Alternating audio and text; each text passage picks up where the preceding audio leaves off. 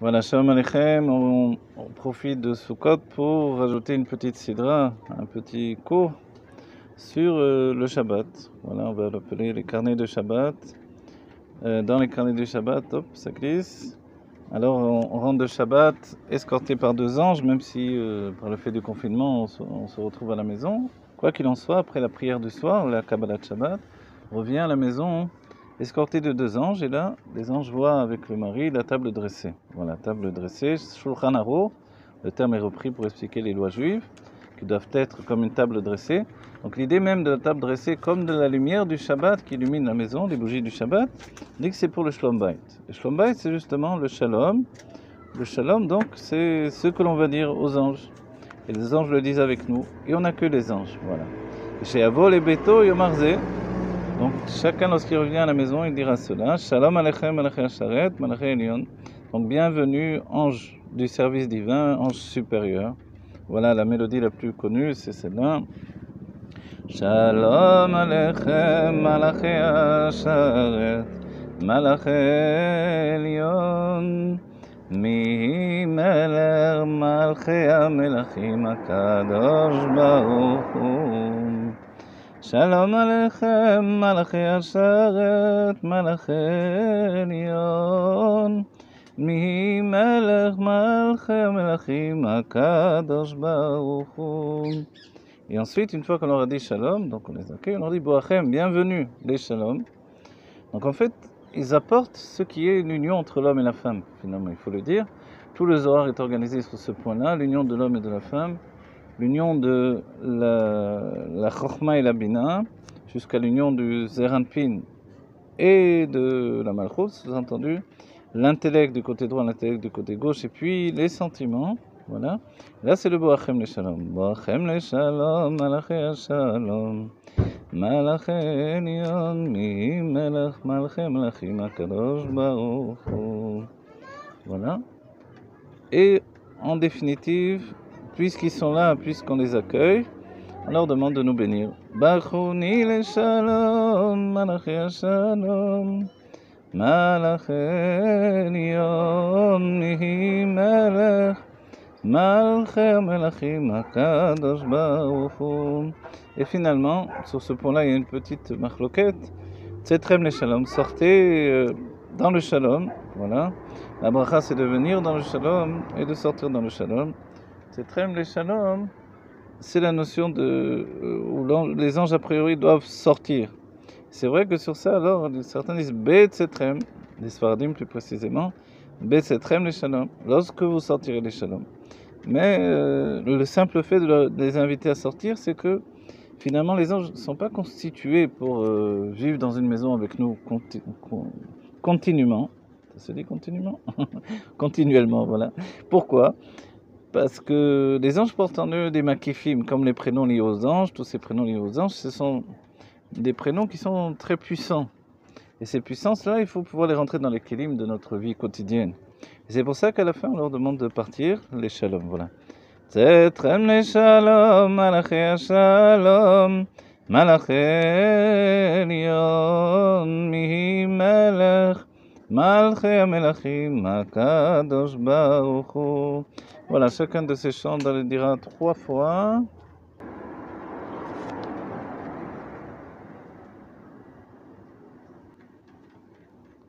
Voilà, si ça enregistre, voilà, les anges sont sortis. Euh, et maintenant, donc, on va dire le, le Shetraïl. Ki melachem et tzavelar lishmercha b'chol erecha, Hashem yishmercha, yishmer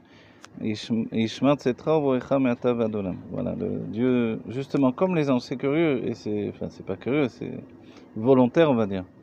Euh, justement, la phrase que l'on dit, elle parle justement de la sortie et de la rentrée, qui est bénie par Dieu. Et on peut se dire, mais ce sont les anges qui rentrent et qui sortent. Bon, on est rentré nous-mêmes, mais finalement, ce sont les anges qui vont repartir on voit qu'il y a une interaction des anges et nous. C'est aussi ici, les anges sont des shluchim, sont des émissaires.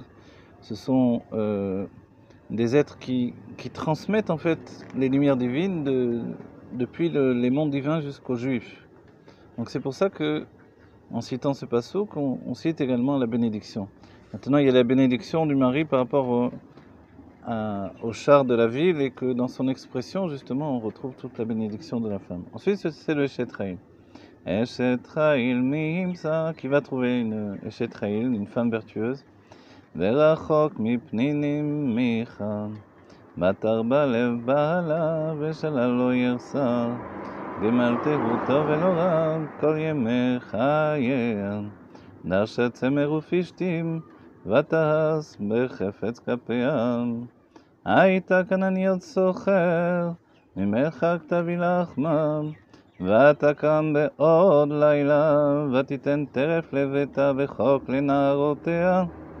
זמם השדה ותיקחהו, מפרי כפיה נטע כרם, הגרה בעוז מתניה, ותרמז אותיה.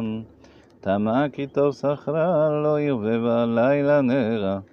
ידיה שבחה וקישו, וכפיה תנפחו פלך. כפה פרסה לעני, וידיה שילחה לאביון. לא תירא לבית המשלג, ככל ביתה לבוש הענים. מעבדים עשתה עלה, אשר וגמן לבושה. נודע בשערים בעלה, בשבתו עם זקני ארץ. סלין עשתה ותמכור, וחגור נתנה לה כנעני. עוז וידר לבושה, ותשחק ליום האחרון. פיה פתחה וחוכמה, ותורת חסד על לשונה. סופי הליכות ביתה, ולחם עצלות לא תאכל. כמובן יהבה אשרועם, בא אליו ויעללם. רבות בנות, רבות בנות עשו חיל ועטלית על כולהנם. שקר החן והבל היופי, אישה יראת אדוני תתעלל. תנו לה מפרי ידיה, ויהללוה מעשרים מעשיה. De quoi parle le Shetraïl Le Shetraïl, il parle de cette femme vertueuse. C'est la Shrina en réalité, c'est aussi Shlomo Emeler qui a écrit ce, ce texte-là, évidemment. Il a écrit ce texte en hommage à sa mère. Il faut rappeler les conditions. Il était euh, l'heure d'aller au Beth Amikdash faire ce qui s'appelle Achnasat הכנסת, הכנסת quoi הכנסת Ashrina dans le Beth Amikdash, dans tout l'ordre des, des, choses que l'on avait ici, c'est-à-dire euh, faire venir la Shrina dans le Beth Amikdash. Et pour ce faire, alors il faut, il faut que le, le Nassi d'Israël et le roi d'Israël se retrouvent au Beth Amikdash. Et, et qu'est-ce qui s'est passé avec le roi Shlomo Chag Samer. Et le roi Shlomo, lui, euh, au lieu d'aller au Beth Amikdash à l'heure précise où tout le peuple juif se, se trouvait là-bas, pour la Chanukah Tamizbia, Chanukah Amikdash, Shlomo était à la maison endormi. Et c'est vrai qu'on se demande comment c'était possible qu'il dormait à cette heure-là, plutôt que se lever et aller pour un jour tellement important. Et on explique qu'une de ces femmes, qui était une idolâtre en fait, euh, avait mis sur l'une des fenêtres où il attendait de voir le jour pour se lever, pour aller au Mikdash, elle avait mis une tenture avec des étoiles. Voilà. Donc une tenture noire avec des étoiles, si bien que quand il regardait, il pensait que c'était la nuit. Et finalement, qui est allé le réveiller? C'est sa mère qui est partie le réveiller. Elle a sorti une chaussure, elle a commencé à le taper. Elle a dit Réveille-toi, tout le peuple juif t'attend au Beth Amikdash.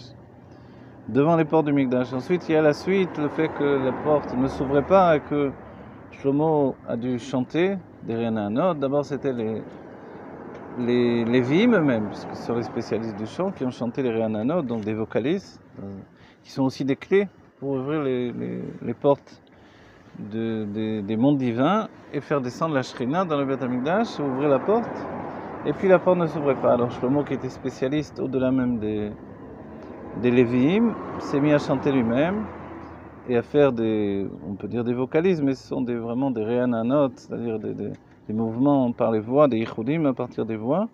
Et comme ça, ils ont réussi. A priori, on aurait dû réussir à ouvrir. Et puis la porte ne s'est pas ouverte. Alors il a compris qu'il y avait un quitroug, une accusation. Il a demandé à Dieu d'ouvrir la porte et il a demandé par, de, plusieurs voix, etc. Jusqu'à ce que finalement, il demande par le mérite de son père. Et à ce moment-là, la porte s'est ouverte. Et c'est là où tout le peuple juif a vu que Dieu avait pardonné à David Améler pour la présumée faute de, David par rapport à Bathsheba. Et on souligne donc Bathsheba. L'histoire de Bathsheba, elle est connue. Elle avait 7 ans. Désolé pour le bruit des voitures, j'enregistre aujourd'hui dans un souka. Elle avait 7 ans, et puis euh, c'est le rabbi qui fait toute cette étude là. Elle avait 7 ans, donc elle n'était pas apte vraiment euh, au mariage, à l'union intime. Elle était mariée à un homme qui s'appelait Uri. Uri, c'était l'ancien, euh, je ne sais pas comment on appelle, l'écuyer de, Goliath. Lorsque David a tué Goliath, en fait, il ne l'a pas tué, il l'a assommé avec cette pierre fabuleuse et sa fronde. La pierre l'a pierre l'a frappé, et puis il est tombé assommé, et puis David a voulu lui couper la tête. Mais pour lui, pour lui couper la tête, comme il était géant, il fallait un couteau une épée qui soit en accord avec cette tête-là, de la taille de la tête.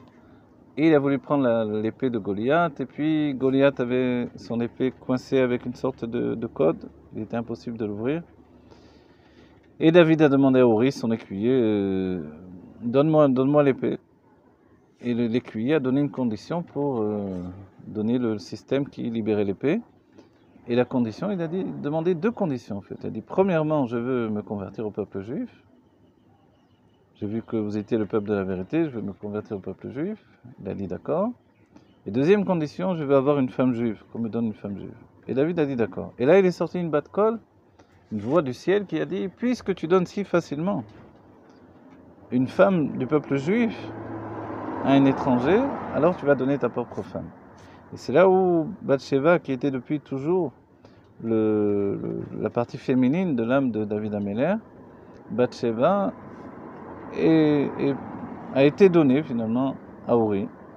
Et c'est comme ça qu'il s'est marié avec elle. Et dans ce mariage, en fait, il faut désigner que le mariage n'était pas consommé. Uri avait un problème physique, il ne pouvait pas avoir de rapport. Et qui plus est, c'était un mariage à condition, puisqu'elle était trop jeune encore pour avoir des rapports avec, euh, avec un homme. Et, euh, et une autre condition, donc évidemment, on dit qu'il a, il a envoyé Uri sur le front pour le faire tuer pour lui voler sa femme. Donc ce n'était pas lui voler sa femme, c'était reprendre sa propre femme. Et en fait, Uri était Chayav Mita, il était passible de la peine de mort parce que il avait, il avait euh, parlé, contredit le roi en sa présence en citant un autre maître. Il avait parlé de, de Yoav, oui, mais Yoav a dit comme ça devant le roi. Et, et finalement, donc, il était selon la loi euh, Chayav Mita. Et David aurait dû immédiatement euh, le tuer. On ne peut pas se laisser contredire quand on est un roi, d'après la Gdusha, mais d'après la, sainteté. Et au lieu de le tuer tout de suite, il s'est dit si je le tue, le peuple va penser que je le tue pour lui prendre sa femme, même si lui savait que c'était sa propre femme. Et il a dit je vais l'envoyer sur le front, en tête, et s'il a du mérite, il va en sortir vivant, sinon, alors Dieu fera la justice qu'il doit faire avec lui. Et c'est ce qui s'est passé, il l'a envoyé sur le front, et puis, euh, et puis Uri n'en est pas revenu. Mais il faut souligner que avant de partir sur le front, il avait donné un guet, il avait donné un guet pour sa femme, donc un acte de divorce, si bien qu'elle était libre. Elle était libre, elle n'avait pas consommé le mariage, et c'était la femme de David depuis la nuit des temps. C'est pour ça qu'il y a un Zohar merveilleux qui dit au moment où David s'unissait avec sa femme, le Satan arrive et vient les quatre et vient euh, accuser David et il s'étonne de trouver personne, aucune, aucun ange de l'accusation autour de lui. Il dit comment c'est possible? Et on lui répond que veux-tu? C'est son zivux, la part féminine de son âme depuis la nuit des temps. Donc on ne peut pas, on ne peut pas accuser David. Voilà. Donc le Zohar finalement, dans l'idée de la faute de David, c'est la faute d'avoir fait des calculs alors que David n'est pas un roi selon les calculs comme Shaoul un roi de marchava de pensée, mais c'est un roi de simplicité, de malchut, cette force d'agir directement selon sa, sa propre nature, selon la, parole et l'action, avec une totale soumission à Dieu, la chifloute, sentiment d'humilité. Donc tout ça, c'est le contraire du calcul. Et David, pour une fois, a fait un calcul et ce calcul a tourné en sa défaveur. C'est pour ça qu'immédiatement, tout le monde a pensé qu'il avait fauté, et que Nathan, un avis, est venu lui dire qu'il avait fauté, etc. Voilà. Et David va porter toute sa vie, euh, le, on va dire presque le deuil de, son âme, dans le fait que tout le monde a pensé qu'il avait fauté, et il va faire tchouva pour une faute qu'il n'a pas commis réellement, mais que les hommes ont pensé qu'il avait fauté. Donc faire tchouva pour une faute, c'est c'est dans l'idée de David, l'idée de Vechatati Negdi Tamid. David était un tzadik amour. Il était passé du stade de tzadik Sheno Gamour à tzadik Gamour, comme on le voit dans Tania. Il avait tué son, son Yetzerara. Enfin, c'est pas vraiment du Yetzerara, c'est ce que l'on pense euh, être comme une infime partie de l'inconscient qui est encore attaché à un plaisir dans ce monde. Il avait tué Kirgo Betanit, il avait tué avec des Tanites, avec des jeunes. C'est bien que la deuxième partie de son cœur était libre également. Pour la Gdusha, elle était pleine de Gdusha. Et David, ayant tué, euh, ayant tué le mal au-dedans de lui, est passé, donc le mal inconscient, il faut souligner, est passé du niveau de tzaddik chez Nogamour, un tzaddik qui n'est pas parfait, au niveau de tzaddik parfait. Et c'est comme ça qu'il est devenu un tzaddik gamour. Voilà. Et David était tzaddik, et il rajoute au fait d'être tzaddik sa notion de Baal et ce qu'il exprime, Vechatati negdi tamid, et ma faute est face à moi toujours. Et l'Admorazaken précise, elle est face à moi, elle n'est pas au-dedans de moi. Ces notions de face à moi et non pas au-dedans de moi, c'est ce qui caractérise en fait la situation de David par rapport à la faute de, de Bathsheba. Voilà. Et, Dieu a voulu montrer devant tout le peuple juif, alors que Shlomo était au moment d'ouvrir le Beth Amikdash, qu'il y avait là toute la gloire du peuple juif, il a voulu montrer que, effectivement, David était complètement pardonné par Dieu. Voilà, compte tenu de tout ce que nous avons dit, c'est également la raison pour laquelle on, enchaîne avec le Mismor et David, bien qu'en réalité, notre tfila, c'est Mismor et David. Voilà. Les David Mismor ou Mismor et David, on se rappelle la différence. Mismor et David, c'est quand David est déjà pris par le, roi Kodesh, l'Esprit Saint, tandis que les David Mismor, c'est quand il provoque l'Esprit Saint lui-même. Voilà. Mais chez Trail, il y a quelque chose d'intéressant aussi. À l'infini, on pourrait l'étudier. C'est peut-être pas le, but de notre cours ici. Mais de donner juste des kelim peut-être au khatan qui veut rentrer dans son kidouche et qui n'a pas d'habitude. Hop, il, regarde ce petit cours et ça l'introduit dans le, facilement dans le, dans le kidouche. Voilà. Euh, ce que l'on voit, et c'est intéressant, c'est que la Trail, donc la ferme vertueuse qui est Bathsheba, euh, elle, euh, on voit que cette femme vertueuse, donc toute la femme de chaque homme, chaque juif, elle travaille à la maison, elle vend son travail. Voilà. Et ça c'est intéressant. Dans l'idée, certains pensé qu'il n'y avait pas de bracha sur le travail des femmes, et on voit que depuis toujours, les... la femme travaille également pour aider son mari. Ce n'est pas une honte. Ce n'est pas partager la bracha comme on a pu le penser, ou enlever de la bracha du mari. Non, non. C'est que la bracha, finalement, le couple, c'est chorma et bina et l'un et l'autre construisent une, entité générale pour que ce soit un cri, un réceptacle de bénédiction de Dieu. Voilà. Ensuite, c'est Mizmor les David. Mizmor les David, Hashem ça. On peut dire avec le, nom si on dit le passage entier, évidemment. רקוד בת מזמר לדוד, אדוני רואי לו ארסר. בינו דשא ירביצני, על מי מנוחות ינהלני. נפשי ישובב ינתכני, במעגלי צדק למען שמום. גם כי אלר בגץ על מוות, לא עיר הרע כי אתה עמדי, שבתך משנתך. המה ינחמוני, תרא לפניי שולחן נגד צורר דישנת ושמן, ראשי כוסי רוויה, אך טוב וחסד ירדפוני. כל ימי חיי ושבתי בבית אדוני לאורך ימים. Voilà, ici c'est euh, l'introduction au Kiddush finalement par le Maison de David. Ensuite, vous savez comment on fait. Alors là, j'ai un verre de café. On prend le verre de la main droite, on le donne à la main gauche, qui va le placer dans la main droite de nouveau. Et comme ça, on pourra faire le Kiddush. Déjà un cours, d'après le Zohar, on explique le Kiddush, toute l'idée. Donc, euh, le vin est rouge, le travail c'est de l'amtique, de radoucir le vin. Donc, c'est un travail de mytho entre le mari et la femme en particulier. Le kiddush, c'est vraiment le, le, le, tout entier, hein, c'est le travail de l'homme et de la femme.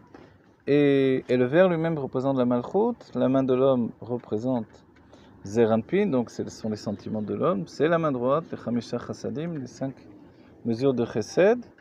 Et finalement, le Zohar nous fait toute un, une explication magnifique, c'est la rose avec, avec ses... Euh, euh, la rose elle-même, ce sont les pétales, et puis ce sont les, les feuilles de la rose et les feuilles déterminent comment donc euh, on tient le, le kidouche, c'est-à-dire comment les feuilles se trouvent sur la rose. Est-ce qu'il se trouve tout en haut il recouvre la, rose, est-ce qu'il se trouve comme ça en dessous Les Bagdadim le tiennent comme ça, donc les, Irakiens. Et puis, selon le, le Baal et même Baba on le tient comme ça dans la paume de la main. Attendez, je vais un peu soulever. Hop, hop, la petite. Voilà, comme ça. Tiens dans la paume de la main. Voilà. Voilà, c'est assez simple. Et là, on fait le kiddush. Euh, juste avant, moi j'aime bien, pendant que je verse le vin, chanter un nigun et je chante le nigun du rabbi, euh, euh, on va dire de la libation du vin, lorsque le rabbi distribue le vin.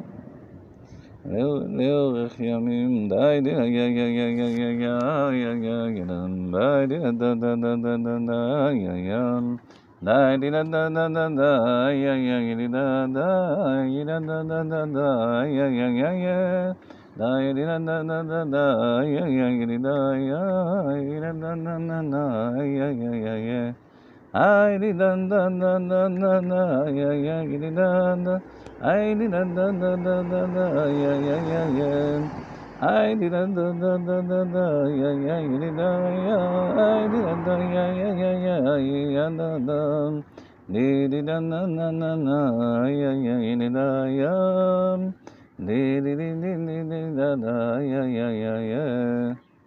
Et voilà, et donc là, on prend notre verre dans la main, comme on a dit, et puis on dit Da'is ou Kadishin. Voici la, le repas euh, dans le chant des Tapurin Kadishin le, le, le kadishim, on se rappelle, c'est ça, vous voyez Quand on les a sur les visages, c'est la midat Emet, dans les yud, guillemets, dans les 13 euh, attributs de miséricorde. Voilà. Et là, on dit atkinu seudata, c'est très joli. Certains le passent au silence, mais on doit. C'est bien de se rendre compte de ce qu'on dit. Atkinu seudata dimem nota. Préparer la. Atkinu la les taken. On préparer la seuda de même nota, c'est-à-dire une seuda de foi. Shlemata, chedvata, des Malka Kadisha, qui est euh, entière, qui est joyeuse de, du roi euh, des Malka Kadisha, le roi saint. Atkinu Seudata des Malka, préparez la, la Seuda de la reine. Da'i Seudata la Chakal Tapurin Kadishin, on a dit, c'est la Seuda, le repas des Tapurin Kadishin, du, des, pommes de sainteté aux Zeranpin et de Zeranpin, Zeranpin qui est le fiancé divin. Veatika Kadisha, et Atika Kadisha, qu'est-ce que c'est? C'est au-delà de Zeranpin, c'est la source même des sentiments, c'est le Keter, Atian et Saada Beada. Voilà, pour qu'il y ait une, pour qu'il y ait une Seuda pour elle, pour que tout soit prêt pour elle. Voilà, c'est le début de, de ce passage-là.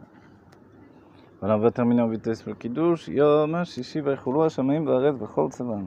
Voilà, ce qui est bien, c'est de toujours lire, même quand on connaît par cœur, il vaut mieux, mieux lire parce que parce qu'on s'attache à, on s'attache à redécouvrir. Le rabbi qui connaît par cœur lit tout chaque bracha. Alors on peut lire le Kiddush, Yom HaShishi, le sixième jour, Veichulu HaShamayim Ba'aret, vous rappelez c'est le passage de la Torah, hein, ce sont les psukim de la Torah. Veichulu sont terminés le ciel et la terre. Vechol Tseva.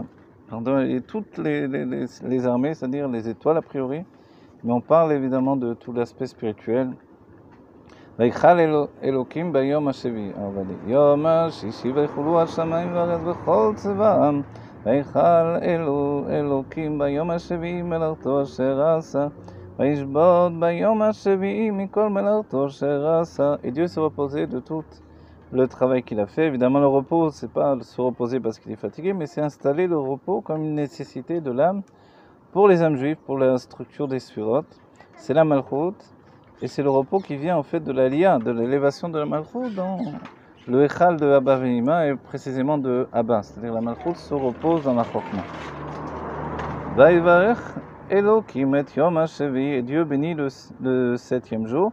Il le sanctifie, c'est-à-dire qu'il lui donne la, Havdalah, il le sépare de, de, de, l'intrusion en fait de la matière qui dérange. Kivo Mikol Melarto Asher Bara Elohim la parce que dans lui, Dieu s'est retiré de toute son action, il s'est interrompu dans toute son action qu'il a créée euh, pour qu'elle soit faite. Et le, le, fait que ça soit écrit Elohim la sot, c'est-à-dire que dans la création de Dieu, il y a une place pour que l'on fasse nous-mêmes. Comme le fait que, puisque le Shabbat est un, mouvement des mondes en fait. Ce monde s'élève vers les mondes supérieurs et dans les mondes supérieurs, même dans Tziloud, la Malchut, les Aranpin s'élèvent dans le Echal de Abba Veimad. Donc ils vont manger chez le père et la mère, si on veut, d'une certaine manière, entre guillemets. Euh, alors pourquoi on doit faire quelque chose nous-mêmes, le Kiddush? Donc le Kiddush, c'est accompagner. Chez Bara, Elohim Lassot, Dieu a fait pour que l'on fasse. De là la Brit Mila, de là tout le judaïsme. Voilà, ensuite on dit Savri Maranan. Euh, il y a une interruption ou pas, chez Chabad on ne fait pas d'interruption, d'après l'Almorazaken, c'est-à-dire le Lechaim. Et ensuite, ברוך אתה השם אלוקינו מלך העולם, אשר קידשנו במצוותיו ורצה בנו. Dieu a, nous a ordonné par ses commandements et nous a voulu. Il a, il a voulu. Ratsa banu. Euh, Veshabbat, Kocho Be'ava, et le Shabbat saint, avec amour. Uveratson inchilano. Et voilà, avec euh, volonté, il nous a donné ce Shabbat. Zikaron le Maaseh Bereshit. C'est une mitzvah de Edut qui est en souvenir de l'action du Maaseh Bereshit, de la création du monde. Trila le Mikrae Kodesh, le début de, de, de Kodesh, de ce que l'on va appeler Mikrae Kodesh, tout ce qui est saint finalement. Zecher Mitzrayim. C'est notre judaïsme qui commence dans le livre de Bereshit, ici, la part de, de, de Nissan qui est dans Bereshit, qui est en rapport avec chacun d'entre nous, et c'est pour ça que l'on parle directement de Yetzian Mitzrayim. Pour nous, le Kiddush, on ne le reçoit pas dans le livre de Bereshit, même si ces psukim viennent, viennent du Sefer Bereshit. On les reçoit à partir, du mois de Nissan, où Dieu nous a fait sortir d'Égypte et nous a ordonné de faire le Shabbat et de se souvenir de la sortie d'Égypte.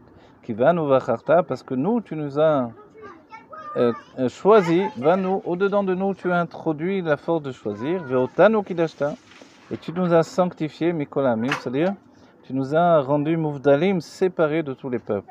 Le Shabbat. Voilà, et le Shabbat saint, et, dans ta volonté, tu nous as transmis ce Shabbat. Baruch Hashem, Shabbat. Voilà, on arrête ici euh, la première partie de ce petit show, donc de l'écrat de Shabbat, on peut l'appeler comme ça, je ne sais plus comment dire, le carnet de Shabbat, voilà.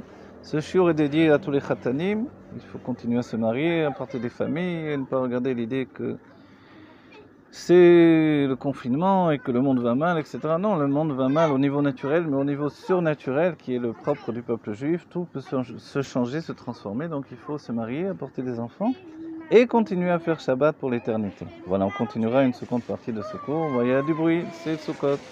Simcha v'tuv levav, l'echia